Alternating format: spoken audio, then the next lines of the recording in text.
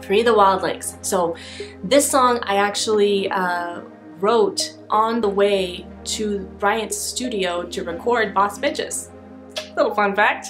I wrote two thirds of the song on the way to the on the way to the studio. I was begging to come out. I was in this space where like I felt a little, I felt desperate. I felt a little bit uh, like hopeless. Uh, yeah, yeah. I felt, I, I felt pretty hopeless about how things were looking that week, and uh, unsure how I was gonna pull off the things that needed to be pulled off that week by that Friday, and not just work. I mean, like life stuff, big life stuff, and. Um,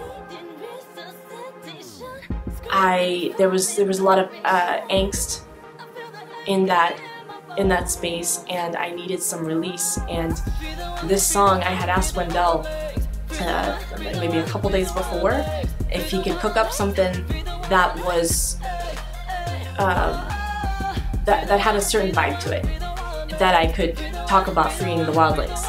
And for me, the wildlings being that like those unacknowledged parts of ourselves that we're like kind of trying to hide and tuck away and and we don't want people to see what that is because it's like the ugly stuff. We think it's the ugly stuff in us and nobody wants to see that and we don't want to see that so we're just gonna you know just put it away. Um, that's really what the song is about. It's about owning all of ourselves the dark, the light, the good, the not even the good, just what we think is the good and the bad.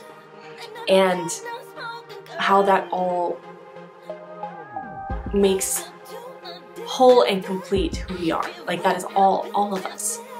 Um, and so I talk about like, um, you know, feeling that weight and and how I just can't I can't hold it anymore. I can't I can't keep suppressing stuff. I can't keep pretending like everything is fine.